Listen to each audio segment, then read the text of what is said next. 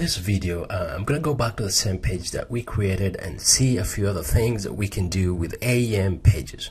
Adobe Experience Manager gives you a lot of tools within authoring of pages and sites where you can do uh, most of the work that is done by webmasters or web admin. So, for example, if you need to reconfigure, move pages, uh, edit the metadata, you can do that very quickly. So, here I'm going to show you how to move a page. Example, you created this page under uh, the English site, you're trying to move that page under product. So basically you go ahead and you select that page. You can see this is very important. You have to be able to select that page that way for you to get that panel up there. And once you get that panel up there, you can see you have all the options.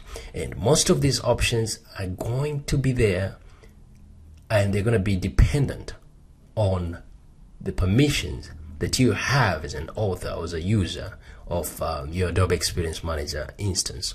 So, if you don't have, if you do not have enough sufficiency to delete or uh, publish a content, then probably you won't have these options up there. Or if you have these options, they're probably going to be blurred and you won't be able to use them. But let's go and jump in there and say we're going to move this page to About Us. You can see this page now exists in the same directory as About Us. We can go ahead and click on Move and we have there and you can see that wizard up there. It tells us, do you want to rename this? We can go ahead and rename this page. Uh, but let's not re rename it. And we have to select a destination. So that's page one. We can go next. And this wizard basically brings you to a place where you're supposed to select a destination. Our destination is we want that page to be and about us.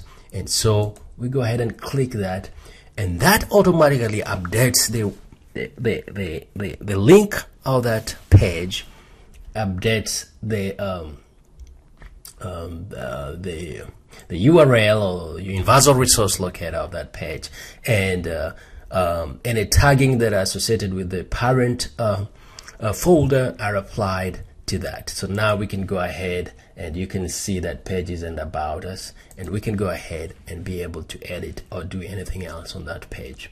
Now if we need to add anything as far as after moving the page, we can go ahead again, open the properties and we can go on it to add all the metadata that we want to add on that page. For example, if we need to change a few things on the description, if we need to add something that would be good for the search engine optimization of that content, then we can add it under description. We can add something, a subtitle.